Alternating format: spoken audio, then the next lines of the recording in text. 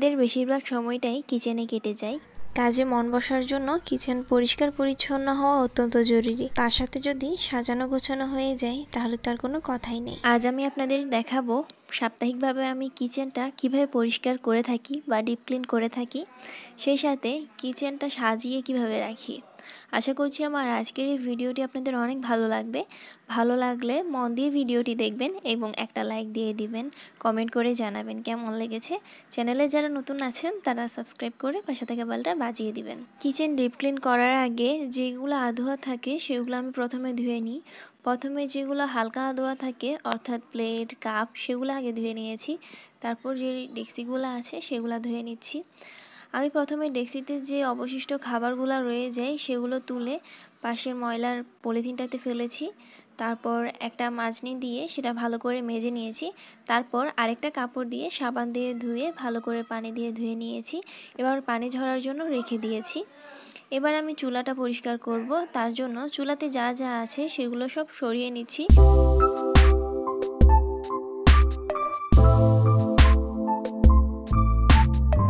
আমি দিয়েই দিয়ে চুলাটা ভালো করে পরিষ্কার করব। আপনারা দেখতেই পাচ্ছেন চুলাটা অতটা বেশি ময়লা নেই, কারণ ডেলি কিন্তু এভাবে চুলাটা পরিষ্কার করা হয়।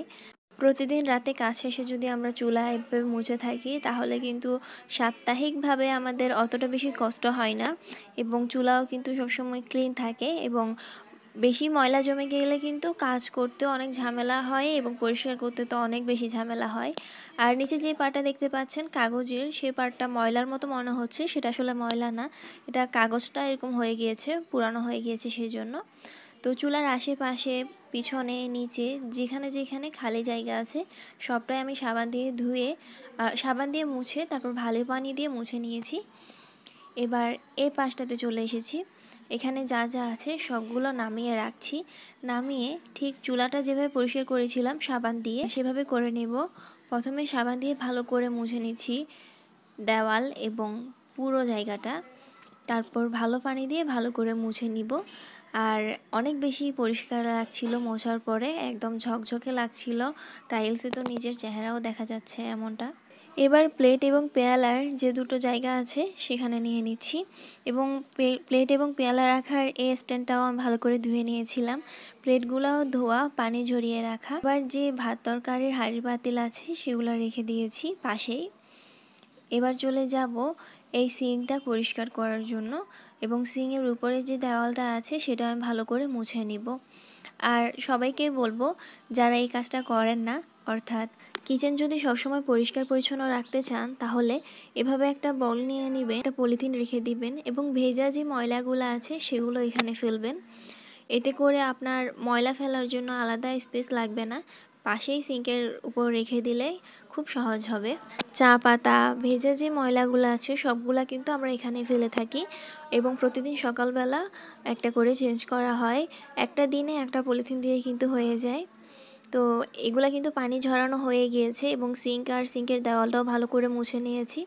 এবার এগুলো যথাস্থানে রেখে দিব, কাপের জায়গায় কাপ রাখব। যে বড় বড় হাঁড়ি পাতিলগুলো আছে সেগুলো, সেগুলোর জায়গায় রেখে দিচ্ছি।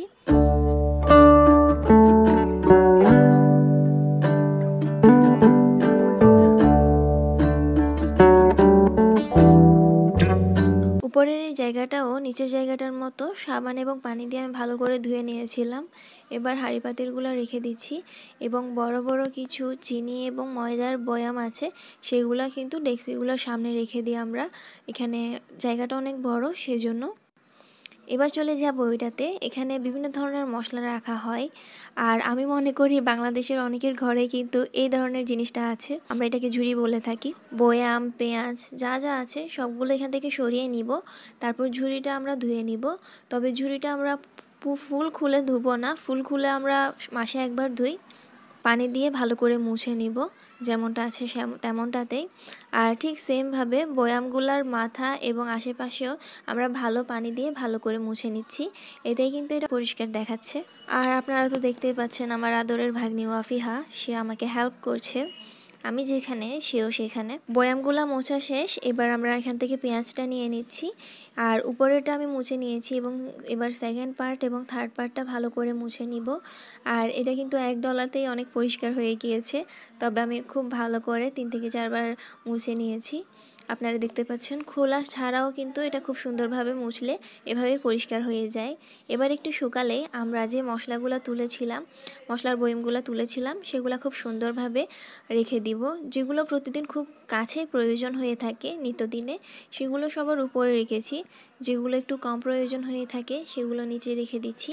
আর একদম লাস্টের পার্টটাতে আমরা পেঁয়াজ রাখব। তবে পেঁয়াজ রাখার আগে সেখানে আমরা একটা কাগজ বিছিয়ে দিব, যাতে ময়লাগুলো নিচে পড়ে না যায়। আমরা সকলেই জানি, দেখতেই পাচ্ছেন, নিচে ময়লা পড়ে যাওয়ার চান্সেস আছে। তো সেই জন্য একটা কাগজ বিছিয়ে দিবেন, যাতে করে ময়লাটা নিচে না পড়ে। আর প্রতি সপ্তাহে ডিপ ক্লিন করার সময় সেই কাগজটা চেঞ্জ করে নেবেন।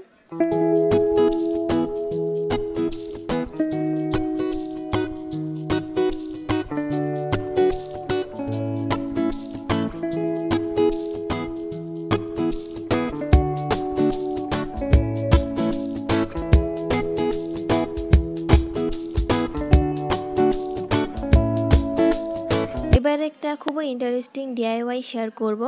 আমরা সাধারণত এই ধরনের তেলের বোতলগুলো ফেলে দিই। আজ থেকে সেটা আর ফেলবেন না।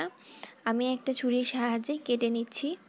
তবে আমি এখানে কোনো কালার টালার পেন্টিং কিছুই করব না। আপনারা চাইলে অ্যাক্রিলিক পেন্টিং দিয়ে ভালো করে কালার করে নিতে পারেন। কালার করলে দেখতে সুন্দর লাগবে, তবে কালার না করলেও কোনো সমস্যা নেই। আমি তো এভাবে ইউজ করব, এভাবে ইউজ করতেও কোনোটা খারাপ লাগে না। এবার দেখে দিব এটা এটা দিয়ে কি করব সেটাই। কাটার পর আমি ভালো করে সাবান দিয়ে ধুয়ে রোদে শুকাতে দিয়েছিলাম। এখন দুইটাই কিন্তু ভালো করে শুকিয়ে গিয়েছে। এবার এখানে কোনো গন্ধ নেই। খুব ভালোভাবে আপনারা এবার ইউজ করতে পারবেন। আশা করছি এই ডিআইওয়াইটা আপনারা অবশ্যই শেয়ার করবেন। বোতল আর ফেলে দিবেন না। আপনারা চাইলে রসুন আর আদা এখানে রাখতে পারেন। আমি দেখিয়ে দিচ্ছি রাখলে কেমনটা দেখাবে। তবে আমি এখানে পেঁয়াজ আর রসুন আর আদা এখানে রাখব না। এই অংশটা তো দেখতেই পাচ্ছেন কতটা ময়লা হয়ে আছে, এটা এবার পরিষ্কার করব। তার জন্য অপ্রয়োজনীয় সব জিনিসপত্র এখান থেকে সরিয়ে নিচ্ছি। আর টাইলসটাও কিন্তু ভালো করে ডিটারজেন্ট দিয়ে পরিষ্কার করতে হবে। বাসায় কিছু প্রয়োজনীয় আর অপ্রয়োজনীয় ছুরি, বটি, এসব ছিল। তো আমি সবগুলাই এখানে রাখব। এতদিন একটা পলিথিনের ভিতর রেখেছিলাম। দেখতে খুবই বাজে লাগছিল এবং জায়গা অনেকটা মেরে নিয়েছিল।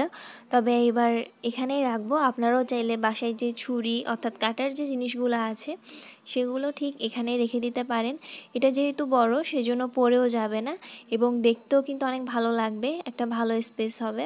সেমভাবে আমি এক লিটারের যে কোকের বোতলগুলো থাকে, সেগুলো কেটে নিয়েছি। একটা ছোট করে কেটেছি, একটা বড় করে।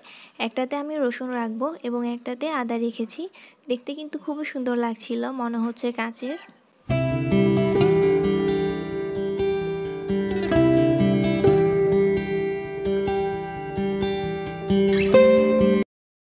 তেলের আরেকটা যেটা বোতল আছে, সেখানে ফ্রিজে মাছ মাংস রাখার জন্য যে টিফিনগুলো ব্যবহার করা হয়, সেগুলোর মুখটা রেখে দিচ্ছি। ঠিক এভাবেই রাখবেন, তারপর টিফিনটাও রেখে দিবেন।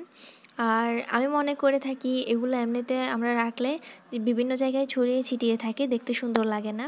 তবে এভাবেই যদি তেলের বোতলে রাখেন, দেখতে খুবই সুন্দর লাগবে। আপনারা নিজেরাই দেখে নিন।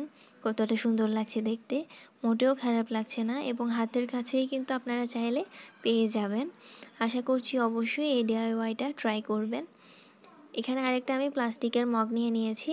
এখানে প্রয়োজনীয় যে হাতের কাছে যে জিনিসপত্রগুলো লাগে, সেগুলো রেখে দিচ্ছি। ডাল ঘুটনি দেখতেই পাচ্ছেন কি কি রাখছি। অর্থাৎ লম্বা যে এক সাইজের জিনিস আছে সেগুলো রেখে দিয়েছি। আর আমার পুরো নিচের যে পার্টটা আছে কিচেনের, সেখানে আমি এটা রেখেছি। লাইন বাই লাইন সাজিয়ে রেখেছি। দেখতে খুবই সুন্দর লাগছিল। আশা করছি আমার আজকের এই ভিডিওটি আপনাদের অনেক ভালো লেগেছে। সবাইকে অসংখ্য ধন্যবাদ এতক্ষণ আমার সাথে থাকার জন্য।